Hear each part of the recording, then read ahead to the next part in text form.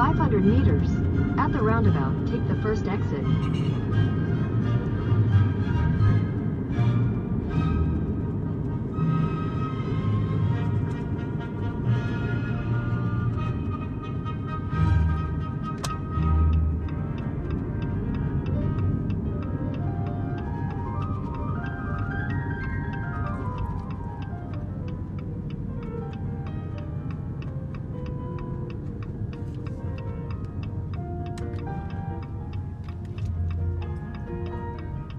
Turn right, then.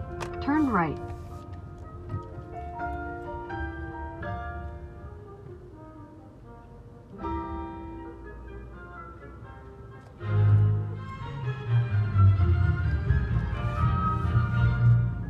Turn right.